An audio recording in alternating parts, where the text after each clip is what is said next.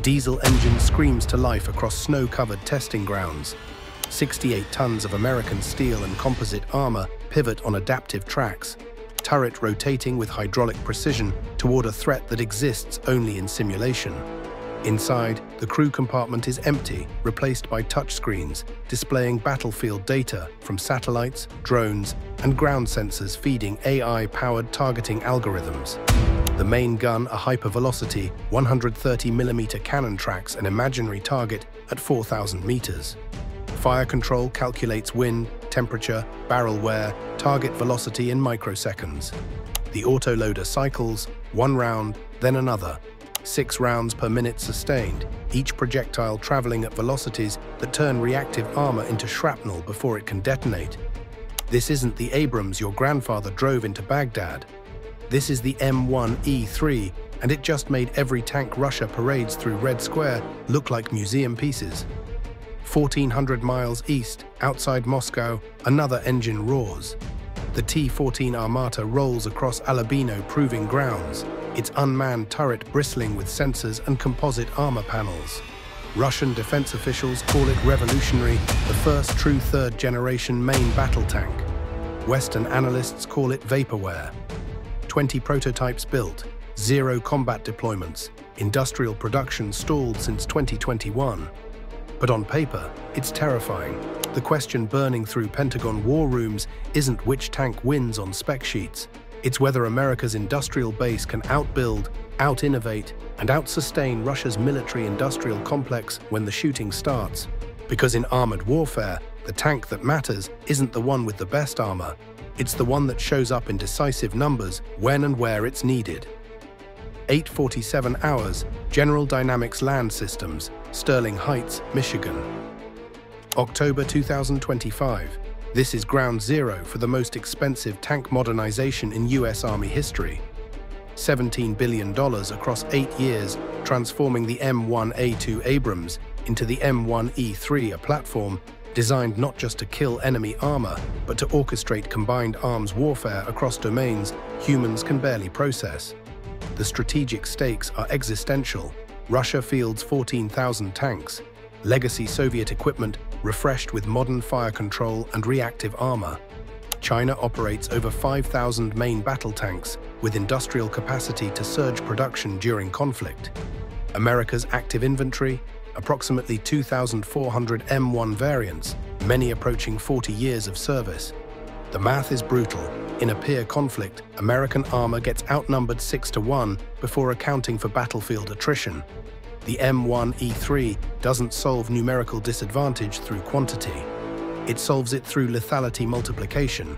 Each tank becomes a node in a networked kill web, sharing targeting data with aircraft, artillery, infantry fighting vehicles, and autonomous ground robots.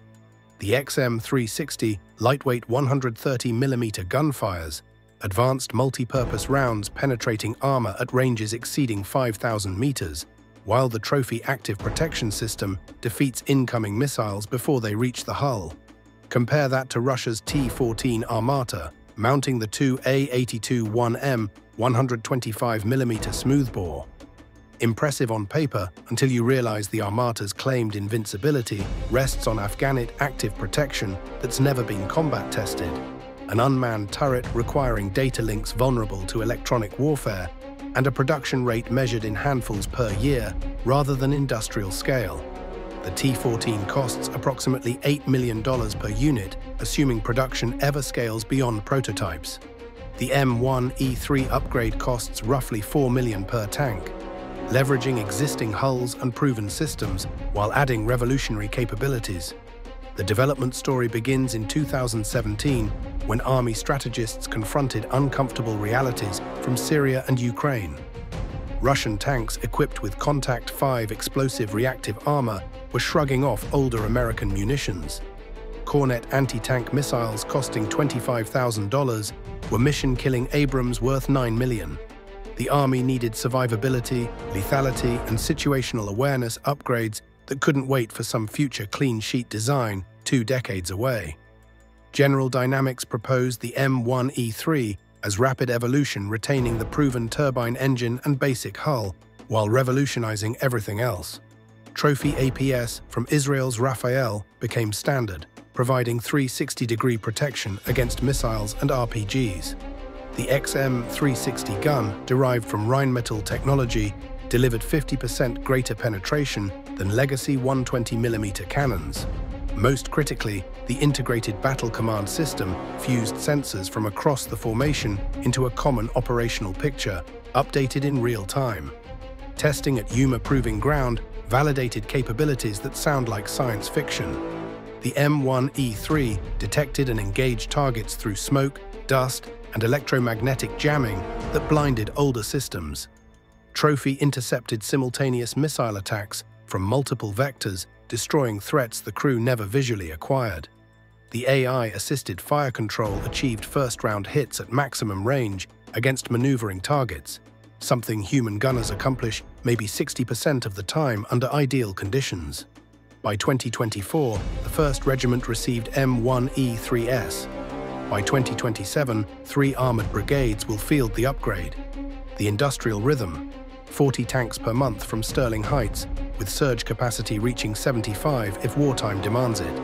Picture the engagement unfolding across Eastern Europe's Suwalki Gap, 60 kilometers of Polish-Lithuanian border terrain that NATO must hold or lose the Baltics forever. A Russian mechanized brigade advances through morning fog, spearheaded by T-90M Proriv tanks, mounting Relikt reactive armor and 125mm guns. Behind them, T-14 Armatas the handful actually operational provide fire support while staying beyond direct contact.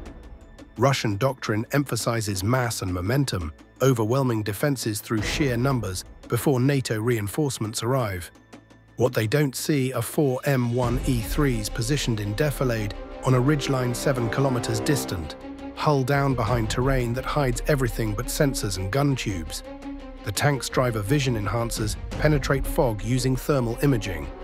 Battle management systems track 63 enemy vehicles simultaneously, prioritizing threats based on armor type, range, and tactical significance. The lead M1E3 commander doesn't issue fire commands. He confirms target packages, AI systems already assembled, distributed across the four tank platoon via encrypted data links immune to Russian jamming. At 0614 hours, the M1E3S opened fire in coordinated salvo.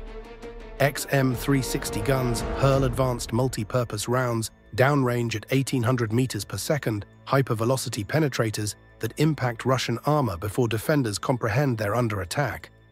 The first T-90M explodes as the penetrator punches through Relikt tiles, fuel tanks, and ammunition storage in microseconds secondary detonations ripple through the formation. The second M1E3 engages a T-14 Armata attempting evasive maneuvers. The round impacts the turret ring where armor is thinnest, catastrophic kill. Russian tankers scramble to return fire, but their mechanically scanned sights are still searching empty ridgelines. Autoloaders cycle, six rounds per minute from each M1E3. 24 precision kills in four minutes. Russian advance momentum shatters, but the Russians adapt. Artillery fire missions saturate the ridgeline with 152mm shells. Smoke rounds create obscurance. Attack helicopters vector toward the American position. This is where M1E3's networked architecture becomes decisive. Counter-battery radar tracks incoming artillery, transmits coordinates to HIMARS launchers 30 kilometers rear, Return fire silences Russian guns within six minutes. The M1E3S receive early warning of helicopter approach from Patriot batteries, target data flowing through IBCS networks. The tanks pivot, launching FIM-92 Stinger missiles from vehicle-mounted launchers, destroying two Mi-28 gunships before they reach firing positions. Then the real threat materializes Russian Kornet teams infiltrated through tree lines, wire-guided missiles launching from concealed positions at 2 kilometers. This is the nightmare scenario that killed American tanks in Iraq. Except now Trophy APS detects missile launches in milliseconds. Radar panels lock onto incoming threats. Counter-projectiles fire three explosions, rippling across the defensive perimeter. All three Kornets destroyed mid-flight. The M1E3S don't even displace.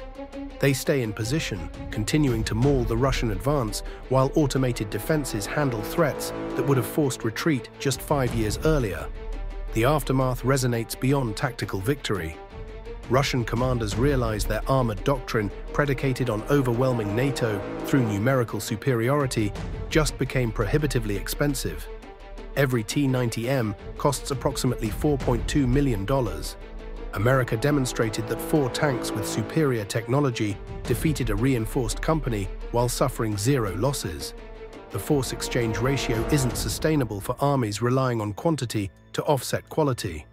Behind every M1E3 rolling off Sterling Heights assembly lines stand 6,800 American workers whose expertise cannot be quickly replicated. Welders join composite armor tiles using techniques perfected over four decades of Abrams production.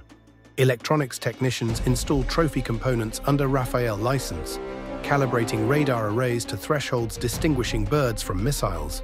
Software engineers debug AI targeting algorithms, training neural networks on millions of engagement simulations. Former tankers turned instructors teach crews how to fight as sensor platforms rather than just gun trucks.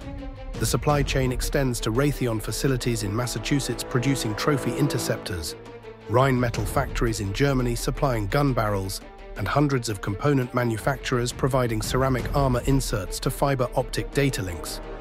This industrial ecosystem represents decades of accumulated knowledge how to manufacture to mil-spec tolerances, how to integrate complex systems under combat conditions, how to sustain global logistics, Russia's defense industry, hollowed by sanctions and corruption, produces perhaps 20 T-14s annually. American capacity, even without surge mobilization, exceeds that by orders of magnitude. The M1E3 program proves that platform longevity isn't obsolescence, it's opportunity. The basic M1 design dates to the 1970s, but continuous evolution kept it relevant through four decades of technological revolution. Digital fire control replaced analog systems. Composite armor improved protection without weight penalties. Now AI and active protection systems transform the tank from isolated vehicle into networked weapons node. Meanwhile, Russia's T-14, theoretically superior on paper, remains trapped in developmental limbo, too expensive for mass production, too unproven for combat deployment, too dependent on technologies sanctions have made increasingly unavailable. So here's the question that matters. If you commanded armored forces facing peer competitors, fielding thousands of tanks, would you rather have the latest design with revolutionary but unproven capabilities, or the platform with 40 years of combat validation, continuously modernized with technologies that actually work? Let me know in the comments below. This is DIB Dispatch, where billion-dollar projects meet battlefield reality.